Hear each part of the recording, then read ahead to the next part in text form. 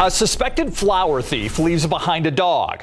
Lytle police discovered that dog had been missing for two years. Someone stole flowers from an HEB in Lytle on Mother's Day, but left Leela, the Shih Tzu, behind. A microchip helped get her to her rightful owners. Those owners say she was let out for a potty break two years ago and never came back. Now that she's back home, she's back to her old tricks again. My husband sat down to eat and she went and sat right under his, almost under his feet, just in case he dropped anything. The family says the previous owner wanted to have her back, but Leela is staying in her home with the 10 year old owner. Lytle police say the suspect is facing a citation for theft in connection to that flower case.